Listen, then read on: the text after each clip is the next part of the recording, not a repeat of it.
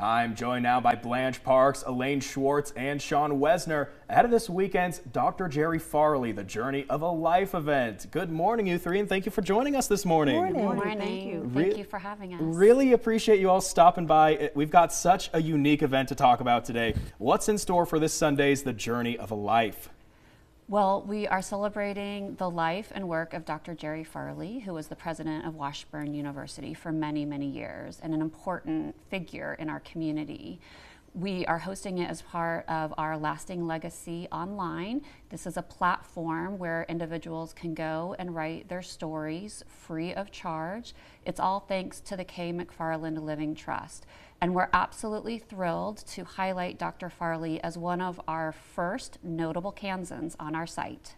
That's absolutely incredible there. And you mentioned there uh, that his educational achievements, but that event will be culminating in a prestigious pilot award. Can you talk a little bit here about Dr. Farley's connection to the aviation community?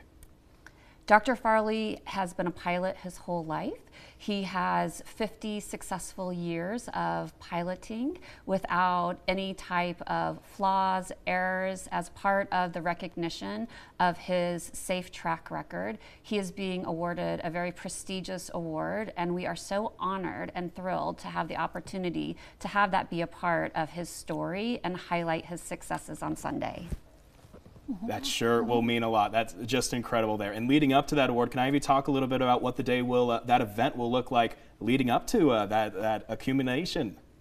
Well, we'd like everyone to know that this event is open to the public. It will be at the Kay McFarland Japanese Gardens, so everyone is welcome to attend.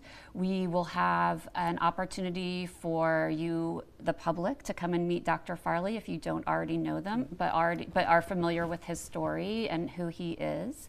And we will have a presentation that will talk a little bit about his life. It's the unveiling of his story, which is so spectacular. He was the very first person in his family to go to college. He was in New York on 9 11. There's so many interesting facts about him that I think that this community will really enjoy. And he's someone to be highlighted. He's a very successful individual and someone that we're so proud to know. Yeah, and, and you kind of touched on it there, but I've got to ask the three of you here what's it mean to you all heading into a celebration and really a reflection on such an iconic member of the local area? Go ahead. Well, uh, uh, we'd like to invite everyone to be sure and attend the, the event on Sunday and to celebrate the accomplishments of a leader in our community and the university. Um, uh, uh, you'll be able to hear and read about his uh, accomplishments through life, uh, uh, about a man who uh, was born in Altus and, and uh, grew up in uh, uh, Tipton, Oklahoma. And uh, uh, he came from humble beginnings and he has a very strong work ethic. And so you'll, you'll be able to read about his life's journey and uh, how he became a leader in, in, in education and in various areas.